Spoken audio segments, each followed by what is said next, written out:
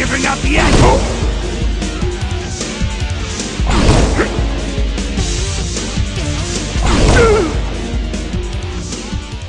Why, you... you'll pay for this!